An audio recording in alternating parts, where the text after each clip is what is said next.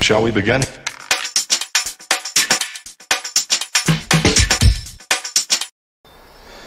Bonjour, Patrick Végétosphère. Aujourd'hui, les agrumes, les citrus, le genre citrus, kumquat, calamondin, citronnier, main de Bouddha, le citron caviar, c'est celui qui a le plus de succès ces derniers temps. Les agrumes. Au nord, au sud, on pratique l'agrume, on veut un agrume, on souhaite pouvoir bénéficier de son parfum parce que l'agrume c'est d'abord un arbuste qu'il soit en pleine terre dans le sud ou chez nous en pot euh, pour le nord de la Loire. C'est une plante qui a un parfum euh, qui exhale. Alors ces plantes qui sont euh, des plantes que nous appelons méditerranéennes sont dans le sud des plantes qu'on cultive et qu'on a en pleine terre, bien souvent. Et pour tous ceux qui habitent au nord de la Loire, eh bien c'est une plante méditerranéenne qu'on va garder en pot. Qui dit garder en pot dit forcément qu'il y a un soin particulier pour l'automne et l'hiver, parce qu'il est évident qu'elle ne peut pas rester dehors euh, sous des climats un peu plus euh, un peu plus durs, un peu plus difficiles.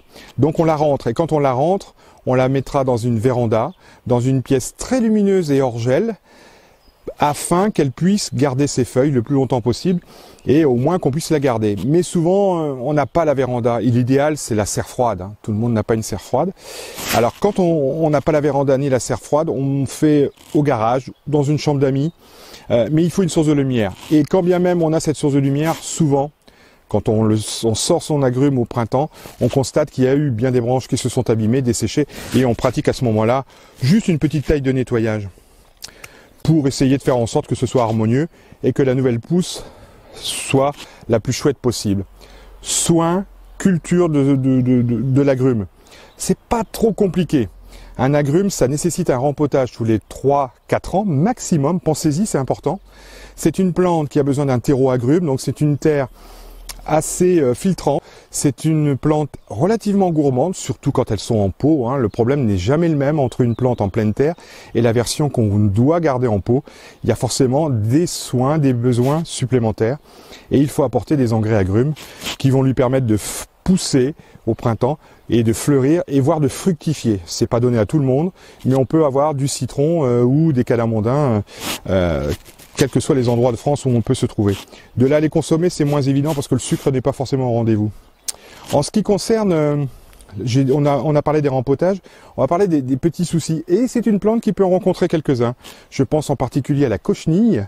La cochenille, c'est vraiment le, parasite qui, vient régulièrement l'embêter. Et gare à vous, gare à nous, car quand on rentre notre agrume, souvent on a quelques cochenilles qui sont disséminées, très discrètes mais pendant l'hiver, elle s'occupe bien de votre agrume et souvent on s'aperçoit que les feuilles sont collantes, poisseuses, avec voire un petit duvet noir. C'est un champignon qui se développe sur les exudats de nos cochenilles, comme ça pourrait le faire sur les pucerons, mais là ça sera de la cochenille.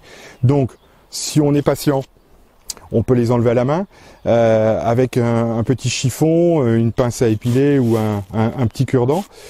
Honnêtement, euh, c'est fastidieux. Il est préférable d'utiliser des huiles de colza. Ce sont des insecticides totalement naturels euh, qui vont agir par étouffement. On prendra soin de faire un à trois traitements sur une quinzaine de jours pour interrompre tout le cycle de la cochenille œuf, larve, adulte. Pour terminer avec euh, nos agrumes, on peut constater ici sur une plante qui vient de sortir, hein, ça fait un mois et demi qu'on l'a sorti, une petite fleur, donc les boutons, la mise en bouton est là, et on a encore quelques fruits qui sont euh, présents. Preuve que euh, les agrumes sont relativement faciles, décoratifs, et ça reste une plante euh, très très agréable à vivre et qui apporte une, petite note d'exotisme, une note du, sud pour tous ceux qui habitent au nord. Alors, pour terminer avec nos agrumes, sachez que vous pouvez rejoindre la page Facebook de Végétosphère et là, vous aurez une newsletter très fouillée, très documentée sur tous les agrumes euh, et, surtout le choix variétal parce qu'il y, a, vraiment un, un grand nombre d'espèces euh, à découvrir. Voilà pour euh, les agrumes Végétosphère. Je vous salue, je vous dis à très bientôt. Shall we begin?